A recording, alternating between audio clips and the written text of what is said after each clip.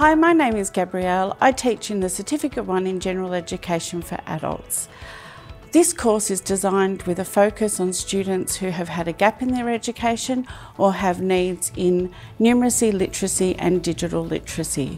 My classes meet the needs of the students by building up their skills in everyday life situations. They learn how to participate in an adult learning environment and how they can access areas of the community.